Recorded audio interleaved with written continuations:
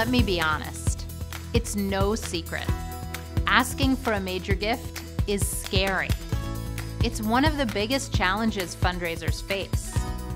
It's a personal question, which enters what is considered a taboo area of conversation someone else's money.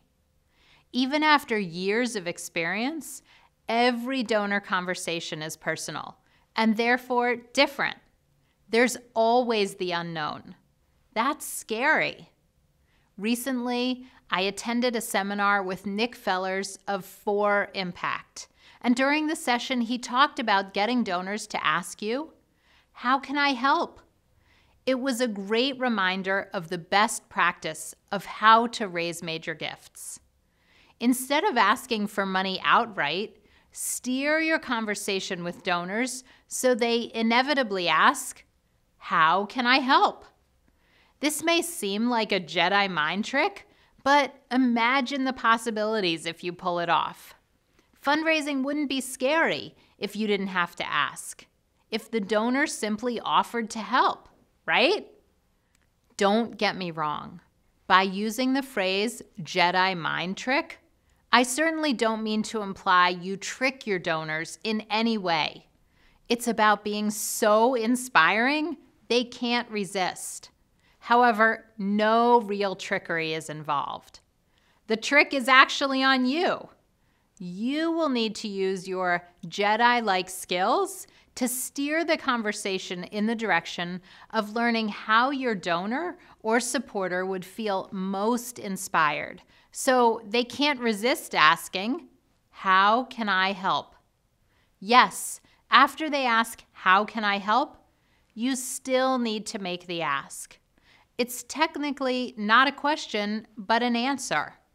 So the real question is how can you prompt your donors to utter these four precious words?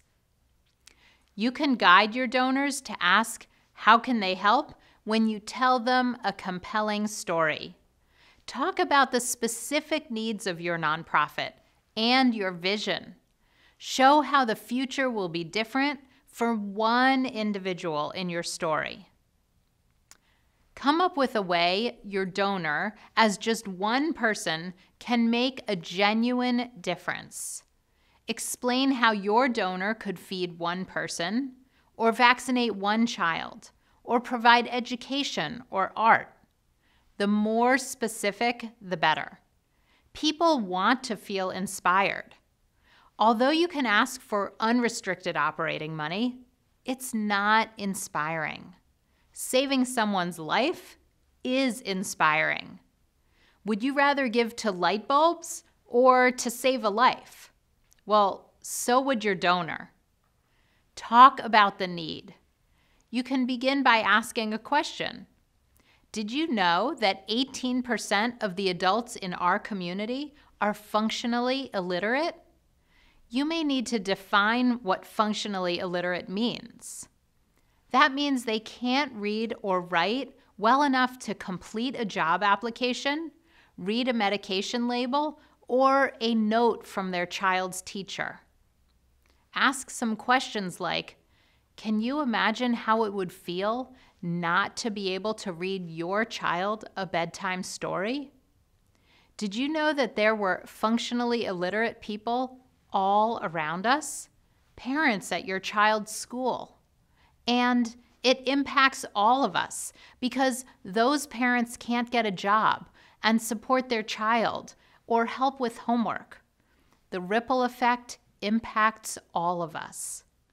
The good news is we at the Literacy Center see a different future for these adults, their families, and our community. But we do need help from people like you. Then pause. Wait for it. Wait for it. Hopefully, they will say something like, How can I help? or What do you need? We'll get to that in just a second. But for those of you who are thinking, my nonprofit doesn't help kids or puppies, so I don't have any tearful stories.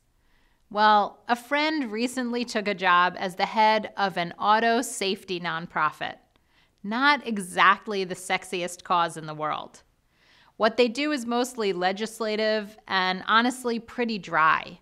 However, he can tell stories of times before seatbelts, cars without airbags, and faulty brakes, and tell stories of a single accident which could have been prevented, saving someone's life.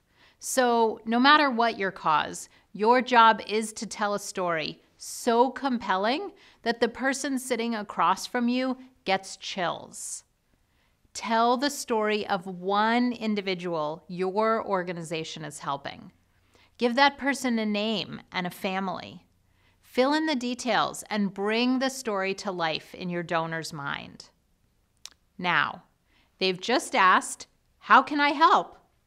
If you've gone this far with the Jedi mind trick and you've gotten them to utter those wonderful words, you must be prepared with an answer.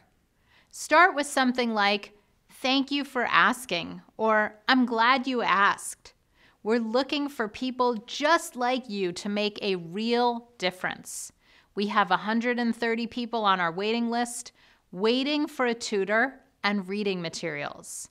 To help one person for six months costs $1,800. Or to provide group classes for 10 people costs $12,000. Is that something you would consider? Then wait.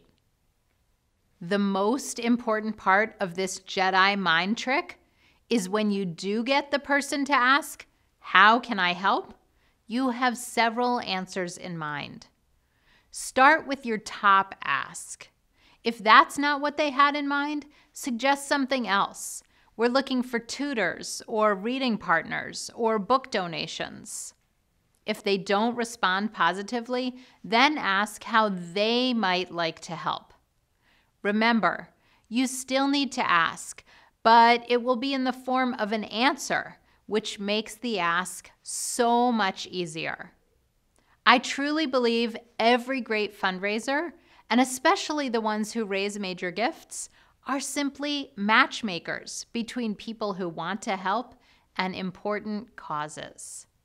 People want to help, and you're simply providing them an opportunity. If your donor goes away feeling like you twisted their arm or talked them into doing something they didn't want to do, something went terribly wrong. They should feel great about helping someone learn to read. Whenever asking for a major gift, keep in mind the third, fourth, and even the tenth gift. You don't want this one to be the last. So the goal is to inspire your donor not twist their arm. When a Jedi mind trick is done well, the person doesn't feel tricked at all. If you want to learn even more Jedi tricks to help you raise major gifts, you won't want to miss my seven week online course, Mastering Major Gifts. During the course, you'll learn to become a Jedi master of major gifts and become a powerful hero for your organization. If you want more videos like this, head on over to amyeisenstein.com. There, you can subscribe to my weekly newsletter, and when you do, you'll get instant access to two free ebooks. Like and share. The larger the conversation, the more we all learn.